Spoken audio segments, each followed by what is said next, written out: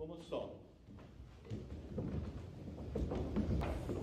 wil hê ons moet hande vat oor die paadjie so. Kom ons vat net hande. Dankie Dawie. Dankie Dawie.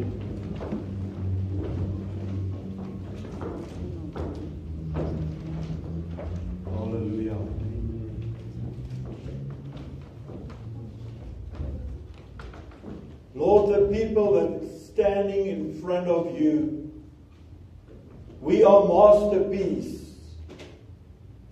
of mercy. Yes. And we are a miracle of grace. En Here ons wil vanoggend aan U, we want to give you honor. Yes. We want to give you glory because you are our God. Mm. We want to lift up holy hands because you are holy and you live within us. Yes. And we want to tell you that we love you. With every being in my life, in my body, I want to tell you that I love you. Yes, Lord. And thank you for your grace. Thank you for your mercy. Thank you for your strength and your power in our lives. Thank you for the provisions. And thank you, Lord, that you are our God and you reign forever. Amen. In Jesus' name. Amen. Amen.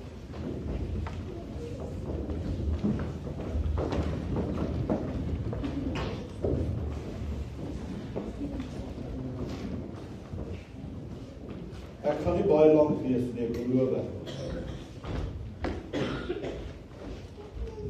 Daar's nog een ding wat jy leer in die Bybelskool, Dirk. En dit is jy sê vir die mense jy's nie jy's nie voorberei nie. Maar vanoggend sê ek vir jou, ek is so onvoorbereid as kan kom, want ek het niks. Ek het nie notas nie, ek het niks.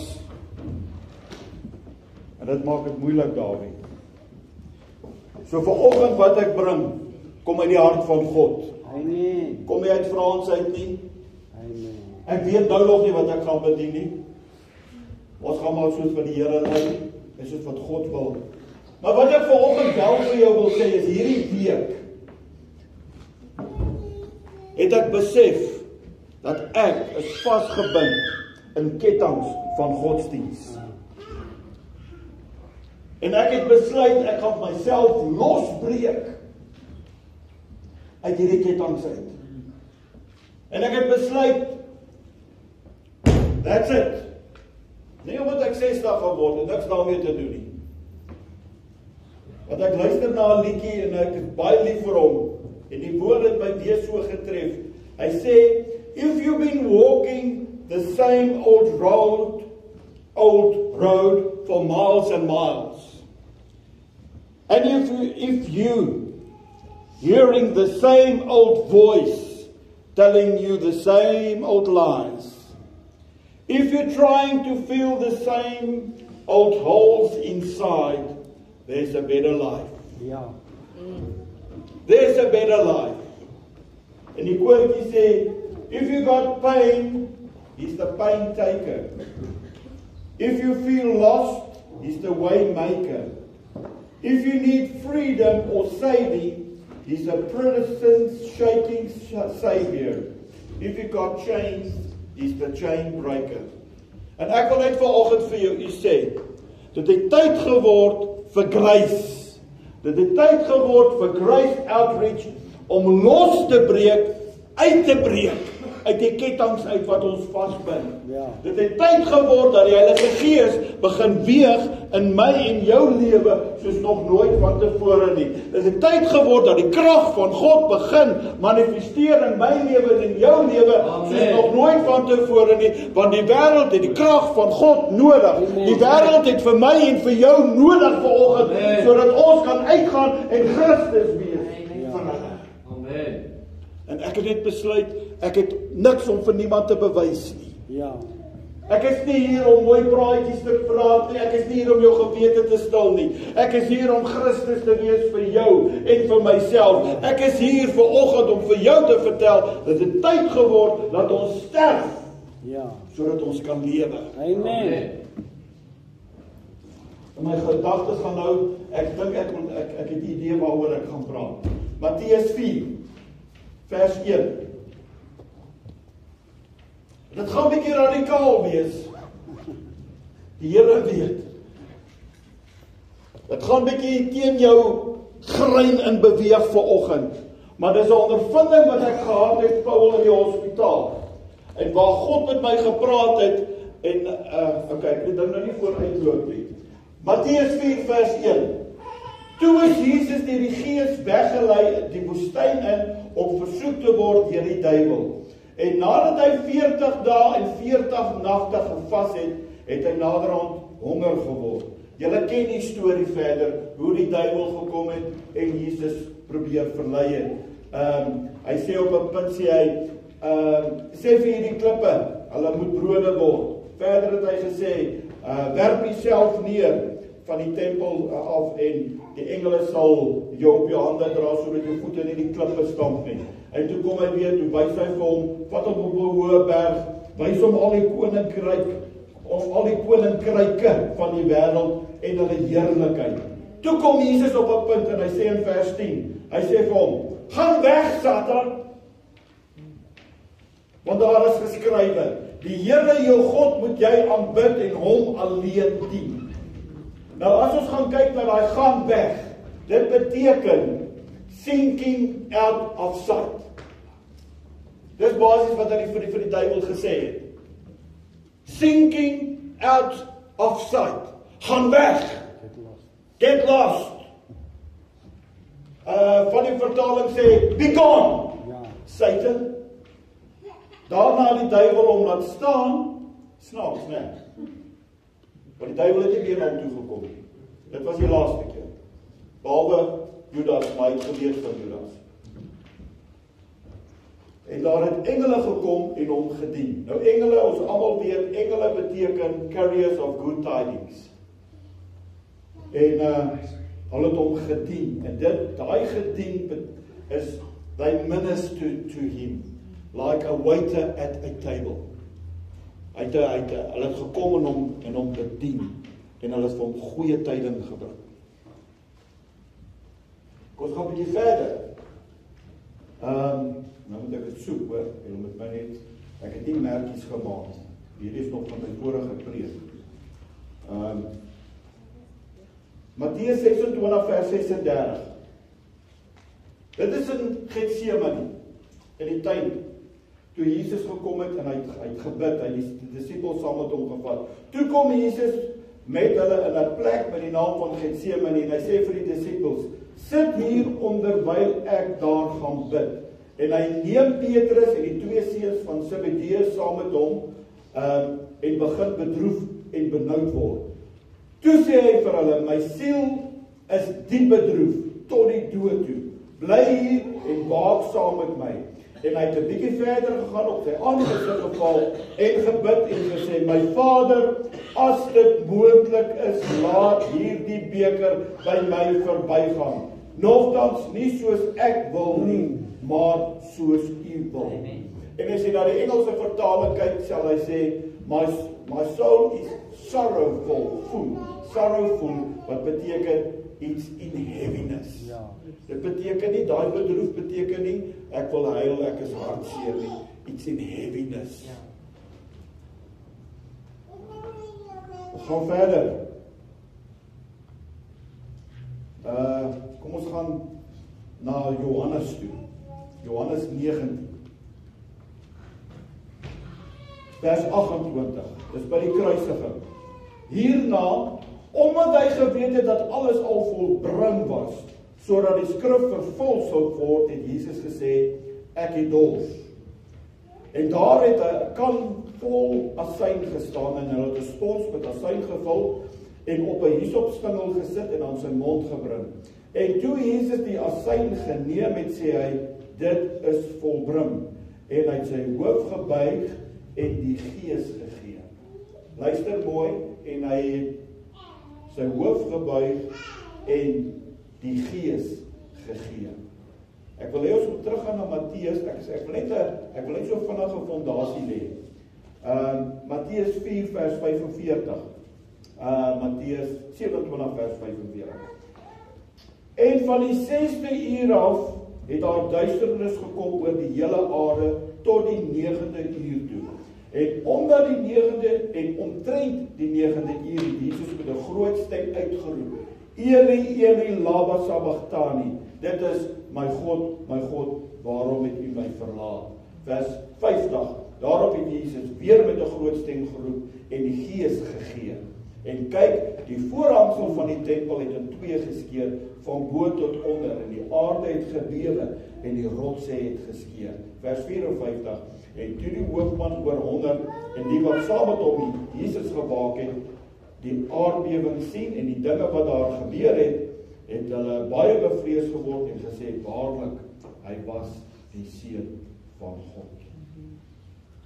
Nou as ons kyk na hierdie gedeelte,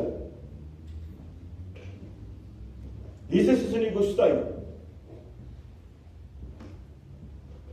En ek gaan nou heeltemal radikaal heeltemal teen wat ons geleer het Paul.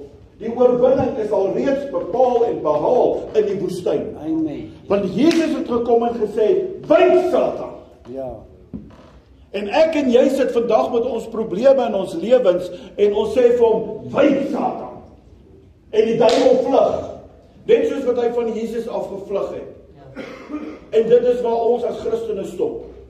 Want môre dan kom die duiwel weer en dan sê ons vir hom weer by Satan en dan vlug die duiwel weer. En oormôre dan kom hy weer met daai selfde probleem na jou toe en dan kom jy weer na die boedelingsbank toe en jy sê weer vir hom by Satan en dan gaan hy maar net weer. Maar môre is hy weer terug. En dit is ons lewens elke dag van ons lewe. Elke dag het ons uh, moet ons fight, elke dag moet ons beklei, elke dag moet ons bid, elke dag moet ons wyk Satan, elke dag dit is een dag op die ander dag op die ander dag op die ander dag dis een probleem op die ander probleem en dis die Christen se lewe. En die wêreld kyk na ons en hulle lag vir ons.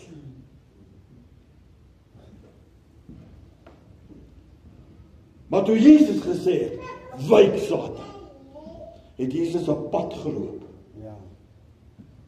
En ons is nie bereid om hy pad te Dis die waarheid. Hy het die pad geloop na die kruis. Hy het die pad geloop na die kruis. En weet jy wat? Ek weet die woord sê so.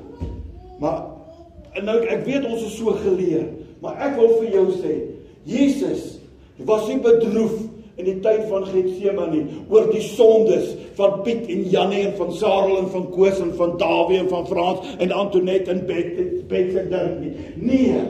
He, he went into heaviness because he carried the holiness of the heavenlies on his shoulder. Amen. That's why.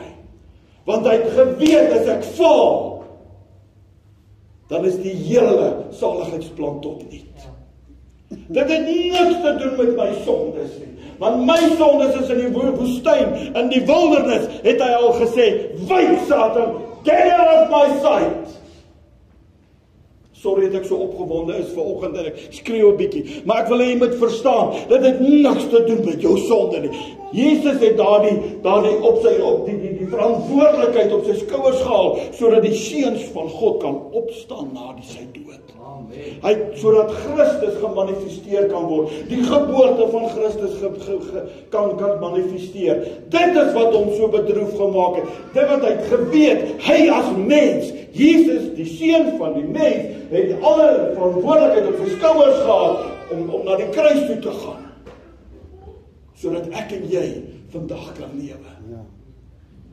En dis waar ons val. Dis waar ek en jy val. Want ons kom op die punt wat ons oorwinning het. Ons kom op 'n punt wat ons ook kan sê, "Wyk Satan, ek sal die Here jou God alleen aanbid en niemand anderster nie." Maar môre is hy weer terug en dan val ons weer vir sy grappies. Want van die tyd toe Jesus gesê het, "Wyk Satan," het hy geloop die pad wat God wil hê moet loop. Was hy in die wil van God wat hy het gesê, "Ek het gekom om die wil van my Vader te doen." Ja. Amen.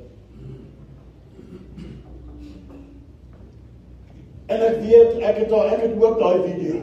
Ek het ook daai DVD, The Passion of the Cross of Christ. En moenie dink ek is onsimpatiek teenoor die kruisiging nie. Maar ek wil vir oggend sê dat Jesus was nie so bekommerd oor die pyn en die lyding wat hy gegaan het want hy het geweet want nêrens staan daar in die woord van God dat hy gesterf het nie. Hulle sê die woord sê baie duidelik en hy het die gees gegee. Hy het sy gees opgegee. Hy het geweet waartoe alles gaan. Hy het geweet wat 'n oorwinning lê.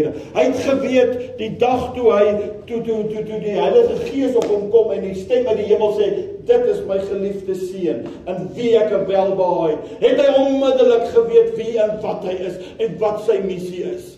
En ek wil vanoggend vir jou sê dit tyd geword dat ek en jy ons doel in ons lewens begin kry. Dit het tyd gekom dat ons moet bepaal en weet waartoe ons beweeg en wie ons is en wat ons is. Dis die waarheid. Want ons karring net elke dag na dag na dag na dag na dag. Ons gaan werk toe en ons kom huis toe. En ons eet en ons slaap en ons gaan werk en so gaan ons aan. En ons werk ons half besimpeld, ekskuus, dis nie kanseltaal nie, maar jy werk jou half besimpeld om einde van die jaar bietjie op vakansie te kan. En dit is nie wat God. Dis hoekom ek aan die begin gesê het, you are a masterpiece of mercy. You're a masterpiece of grace. Amen. You are a miracle, David. You are a miracle. En as jy 'n miracle is, dan is jy het God jou op 'n punt geplaas, op 'n plek gesit waar die voorsiening en alles wat daarmee saamgaan 100% moet wees. Amen.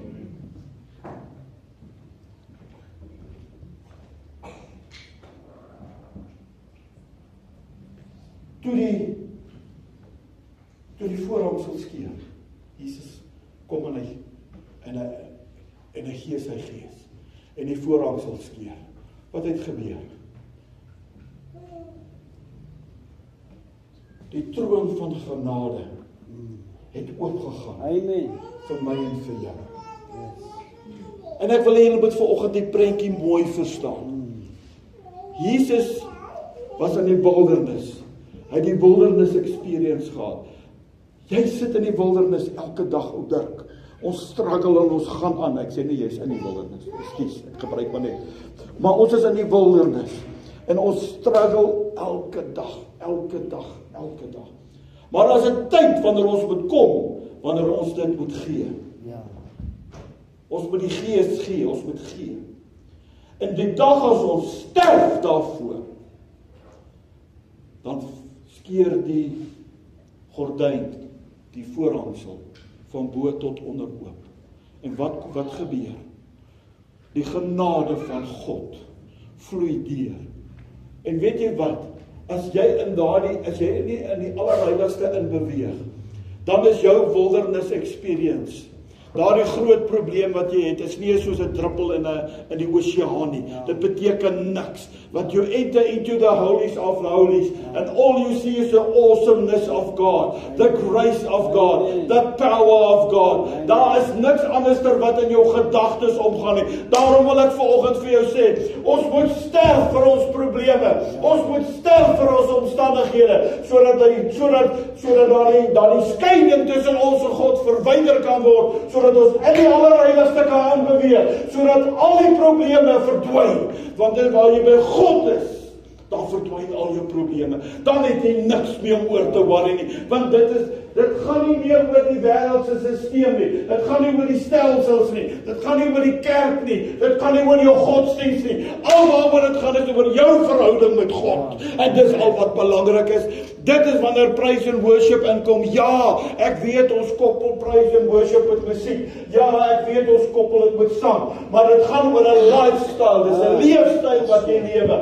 Maar wanneer jy in die allerheiligste beweeg, is daar geen ander plek wat jy wil wees nie. When you have a encounter with God, I'm telling you, you don't want to be nowhere else. Ja, nee, dis waar.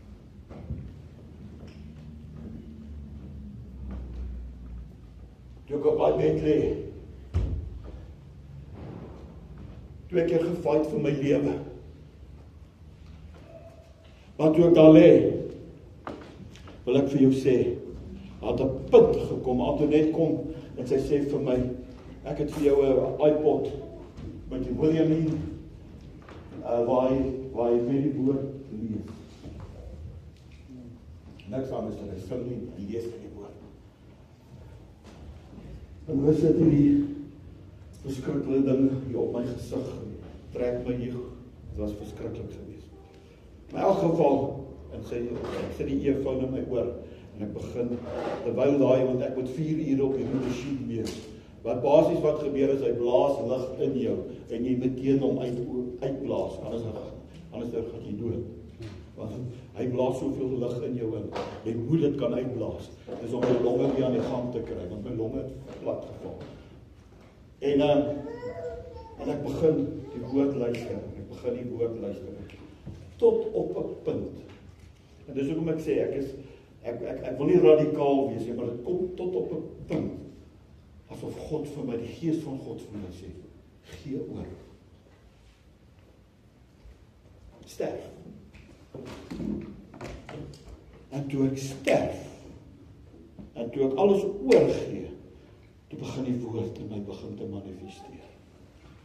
En toe ek sterf, toe skeur die voorhangsel oop vir my. En toe kom die die genade van God vloei deur my liggaam en alles verdwyn. En al wat ek sien is die heerlikheid van God. Amen. En dis al wat ek oor bekommerd was. Met alle respek, ek was nie bekommerd oor my familie nie. Ek was nie bekommerd oor my kinders nie. Ek was nie bekommerd oor my werk nie. Ek was nie ek jy het absoluut geen bekommernis nie. Want dit is nie van belang nie. All you see is the glory of God. En dit is wat dit is ons probleem vandag. Dit is my en jou se probleem. Ek wil vanoggend vir jou sê, jy moet sterf. En as jy sterf, skeur daai voorhangsel oop. Nie jy skeur hom oop nie. Ek sal nog eendag daaroor praat. Hy het van bo tot onder het hy oop geskeur. Jy het hom nie oopgemaak nie. God het hom vir jou oopgemaak. En as hy voorhang sal begin skeur en die genade van God is besig om deur te vloei na jou lewe en my lewe, wil ek vanoggend vir jou sê, dan gebeur dinge. Dan is al hierdie goeders nie meer belangrik nie. Dan is jou probleme nie meer van belang nie. Dan is jou omstandighede nie meer van belang nie. En al wat belangrik is in in jou lewe is is to be Christ the hope of glory. To be Christ within me the hope of glory. Dan stel jy nie meer belang wat is jou bankrekening nie. Dan stel jy nie meer belang wat ek Pietie van my geskinder nie. Dan sal jy nie meer belang oor niks anders nie behalwe my verhouding met God. Dit is die belangrikste. En daarom dan dan kom jy nie meer vra en sê Frans is dit sonde? As ek dit doen is dit sonde. Because you are so full with the holiness of God that you don't don't want to sin. You don't want to ask stupid questions. You don't want to look at other people and see what they are doing. All you want to do is to be with God. Amen. And then to be in the will of God.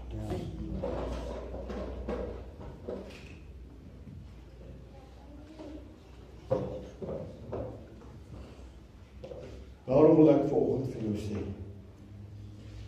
die tuin van Getsemane, ag die tuin die die die uh Garden of Eden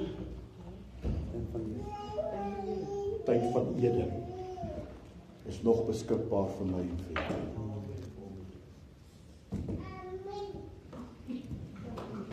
Daar's hy.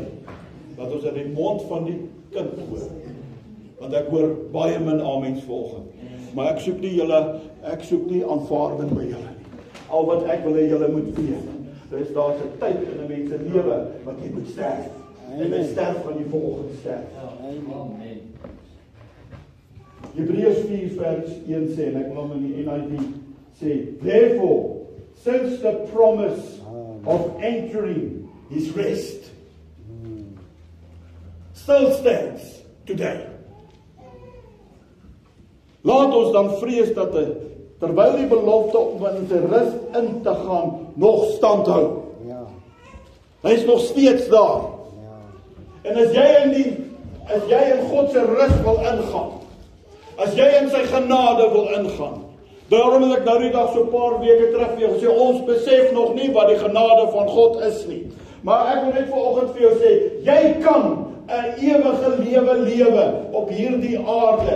Jy kan 'n Beulah land hê in op hierdie aarde. Jy kan 'n tuin van Eden hê op hierdie aarde, maar dan moet jy sterf. Ja. Jy moet sterf sodat Christus meer kan word en jy minder word. Die meer Christus in jou, die minder van jou in jou en jy sal sien hoe dinge begin verander. Jy moet sterf vir oggend. Christus, hier Jesus het gesterf vir my en vir jou sodat ons kan lewe. Hy het die seun van God op sy skouers gedra na die kruis. Hy het die die die heiligheid van die hemele op sy skouers gedra na die kruis. Hy het die krag van God, hy het die manifestasie van God in my en jou lewe na die kruis toe gedra. Ja. Sodat ek en jy dit kan ervaar vandag.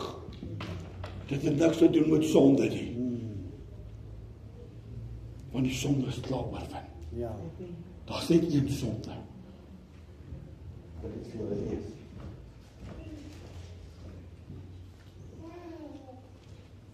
Ja, ek het nie my Bybel, my ander Bybel hier nie. Maar hy sê want elke hoëpriester wat deur die mens geneem word, tree ten behoeve van die mense op in die dinge wat in betrekking tot God staan om die gawes en die offers vir die sondes te bring. En aan een wat kan saamvoel met die onwetendes en die dwalendes omdat hy self ook met swakheid bevange is. En om daarom juis moet hy net soos vir die volk so so ook vir homself vanweer die sondesoffer. Hy praat hierso van die mens, menslike hoëpriester. En niemand neem die waardigheid vir homself nie, maar hy wat deur God geroep het, net soos Aaron. So het Christus ook homself nie verheerlik om die om hoëpriester te word nie, maar hy het hom verheerlik wat vir hom gesê het: "U is my seun. Ja. Vandag het ek u gegenereer. So ook op 'n ander plek. U is priester vir ewig volgens die orde van Melchisedek. Ja. Jesus het nêrens homself verheerlik nie. Hy het nêrens homself opgelig nie. Dit gaan alles oor God. En ek wil vanoggend vir jou sê, gehoorsaamheid is die grootste sonde. En die enigste sonde wat ek en jy as Christen as Christen kan pleeg. Want as jy nie gehoorsaam is nie, ja. dan doen jy al die ander goeders. Ja. Amen. As jy gehoorsaam is en in die perfekte wil van God beweeg en jy het gesterf, dan is die ander goed nie meer van belang nie. So jy moet vanoggend self jou hand in jou eie hart insteek en kyk wat of dit balans is as dit uitkom. Soos die psalmdigter sê, deurgrond my vanoggend o God. Ja. Kyk of daar in my dinge is wat nie reg is nie.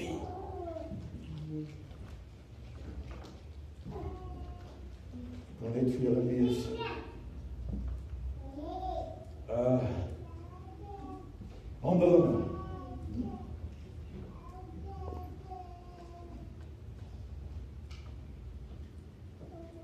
Toe die dag van die Pinksterfees aangebreek het, was hulle almal eendragtig bymekaar. 2 of 3 weke terug het ek gepraat oor die koöperatiewe salwing.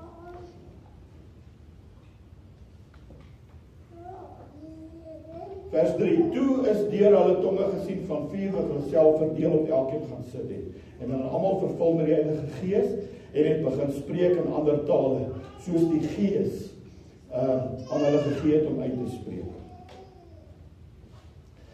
Vers 5: En daar het in Jerusalem Jode gewoon, godsdienst, godsdienstige manne uit elke nasie wat onder die hemel is. Die NIV sê, now they were staying in Jerusalem, God-fearing Jews from every nation under heaven. Nou as ek en jy die tyd geword Dawie dat ons die krag van God moet ontvang sodat ons God vreesende mense van Christus kan wees onder die hemel.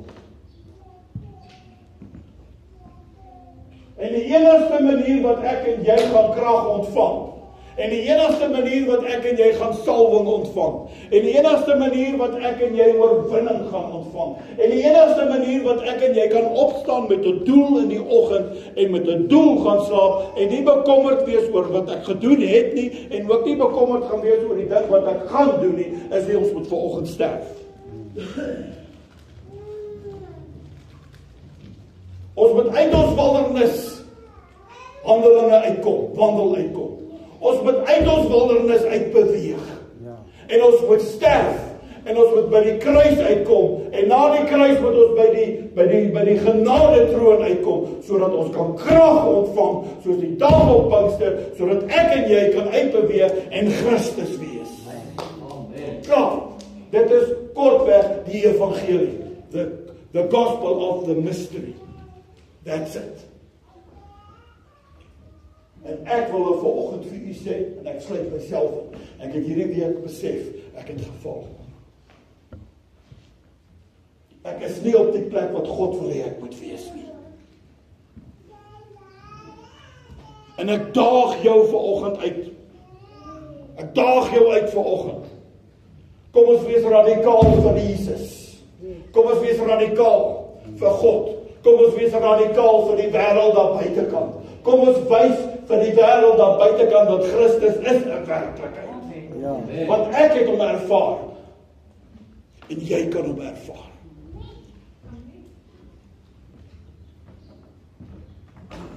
Want daar kom 'n tyd wanneer geld nie belangrik is nie. Ja.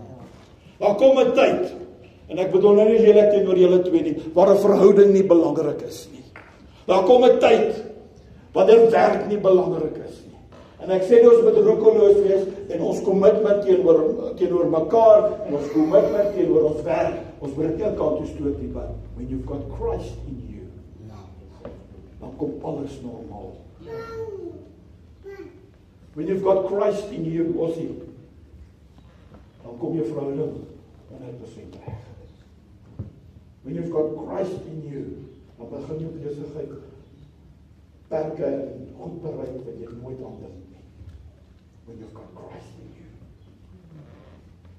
When you've got Christ in you, dan is in loneliness is not an issue because you've got God with you. Dinge gebeur nie. En jy so in die familie van van Christus ingeweef. It's not an issue. As jy dinge begin vra, dan gebeur dit. It just happened. You don't know why, and I can't explain to you why and how. Because I don't know what, how it works. But all I know is this. When you ask, it's going to be going to happen. Why? Because we've got Christ in us. Maar die groot ding is, ons moet sterf. Ons moet sterf vanoggend. Ek is amper klaar. Die vrou kan hom nou nie oorloos nie.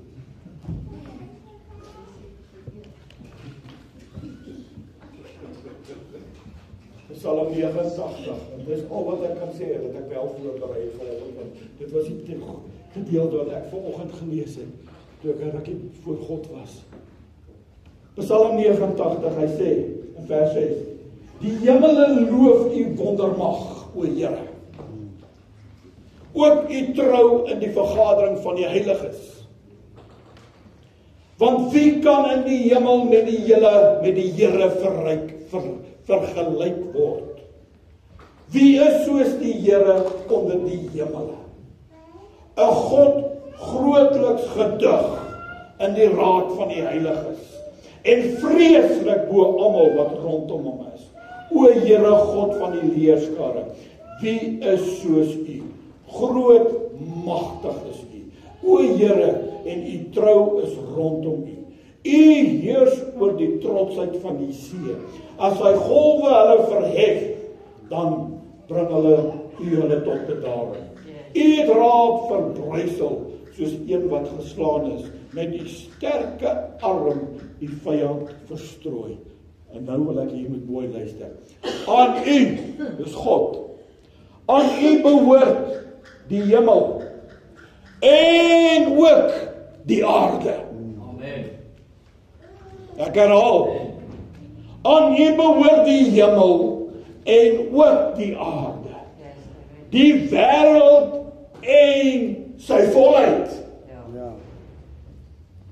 Nou wil ek sê dis my en jou skuld Ja. dat die aarde nie aan God behoort nie. Dis my en jou skuld want so ons moet kom op 'n punt waar Christus in ons begin manifesteer dat ons die grondgebied vat waar die vyand van ons weggaan en dat ons op 'n punt kan kom van van, van sê wyk Satan. Amen. Amen. Hy het geen mag nie. Die oorwinning is klaar en ek wens net ons wil daardie openbaring kry. Hy's klaar oorwin. Gee hom geen grondgebied in jou lewe nie. Want hy's klaar oorwin. Die oorwinning is verby. Maar dis ek en jy wat hom die grondgebied gee. Dis ek en jy wat hom elke skoot terugnooi. Plaas dat ons sterf en by die heiligheid van God in beweeg, bly ons elke skoot terug te beweeg na die varkhokke toe. Dit is tyd geword ek en jy moet sterf en by Christus uitkom. Amen. Dat ons by die troon, dat ons by die allerheiligste in kan beweeg. Ja.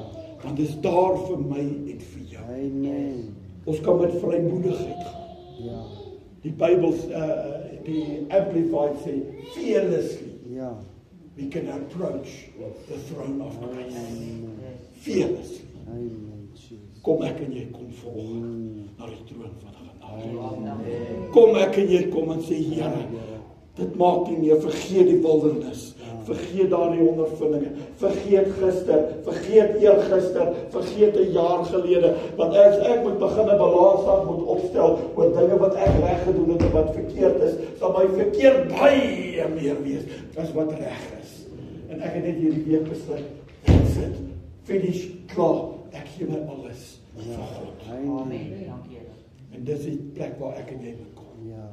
Jy punt kom waar jou verlede, jou dinge wat jy verkeerd gedoen het, skryf dit af. God het gesê so ver as die weste van die ooste is, so ver verwyder ek jou oortredinge van jou. Sodat dit niks meer met jou te doen nie. God het alles weggevat. Ja. Kom vanoggend. Kom vanoggend. Sterf vanoggend Ja. sodat die genade grootliks, oorvloediglik in jou lewe kan wees. Kom ons buig ons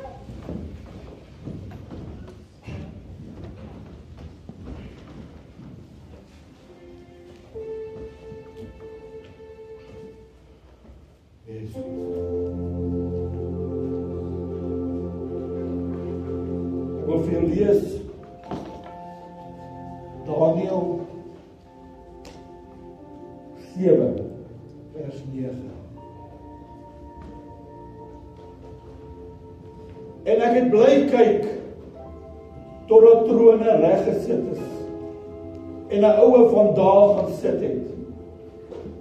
Sy kleed was wit soos sneeu en die hare van sy hoof so skoon wol. Sy troon was vier vlamme. Die wiele daarvan brandende vuur. 'n Stroom van vuur het gevloei en voor hom uitgegaan.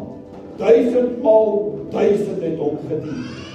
En 10000 maal 10000 het voor hom gestaan. Die reg of die gereg het gaan sit en die boeke is geopen. Vers 13 En ek het gesien in die naggesigte en kyk met die wolke van die hemel het een gekom soos die seun van die mens. En hy het gekom tot by die oue van daar. En hulle het hom nader gebring en voor voor hom. En aan hom is gegee heerskappy en eer en koningskap. En al die volke en nasies en tale het hom vereer. Sy heerskappy is ewige heerskappy wat nie sal vergaan nie. Sy koninkryk een wat nie vernietig sal word. En dit is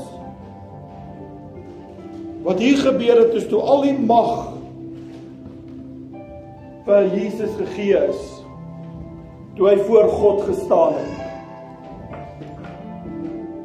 En omdat Jesus Christus in ons lewe En omdat Christus in ons is, het ons die heerskappy.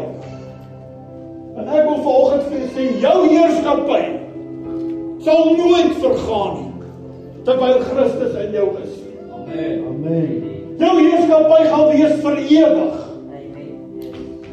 Maar daar het 'n tyd gekom wanneer jy en ek en jy moet sterf sodat Christus in ons gebore kan word. 'n Tyd geword dat ek en jy by die genade troon moet uitkom. Sodat God se genade in my en jou moet begin manifesteer. Sodat ons probleme een kant toe gestoot kan word, want daar's 'n wêreld daar buitekant. Daar is soldate daar buitekant wat seer gekry het. Daar's mense daar buitekant wat God soek. En ek en jy sit naweek na naweek, Sondag na Sondag sit ons in die kerk.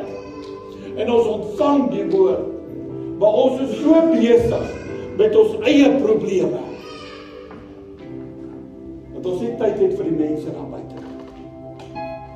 En ek wil vir jou sê, as jy by die troon van genade instap, is jou probleme niks en nul.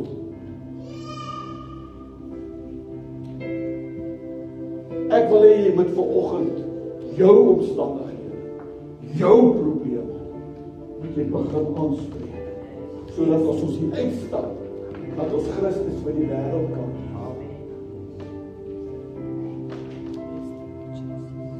Ek wil hê jy moet vanoggend jou dinge vanoggend aanspreek en sê genoeg is genoeg. En vir die duiwel sê get out of my sight. Amen. En by die kruis kom. En by die genade troon kom. En gevul kan word met krag en heerlikheid sodat jy kan uitbeweeg. Dat jy nie by die huis kom en sit en top oor jou probleme. Maar dat die wêreld vir jou